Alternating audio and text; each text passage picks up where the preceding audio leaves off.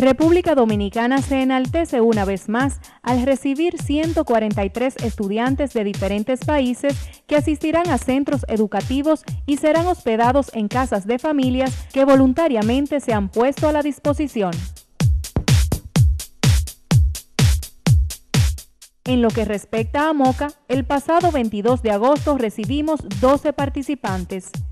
El voluntariado de nuestro comité, junto a las familias anfitrionas de hospedaje, recibieron con alegría a estos jóvenes en el Colegio Educare.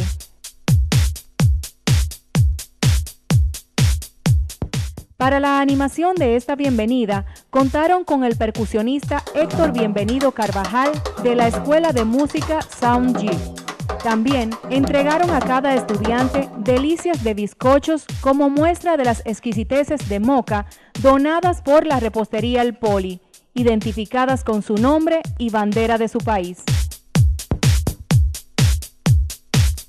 AFS Intercambios Culturales, una organización internacional de voluntarios no gubernamental sin fines de lucro que fomenta la paz a través del intercambio organizado de jóvenes y profesionales en más de 80 países del mundo.